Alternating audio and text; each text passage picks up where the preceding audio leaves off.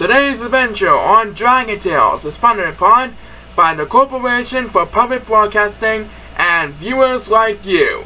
Thank you.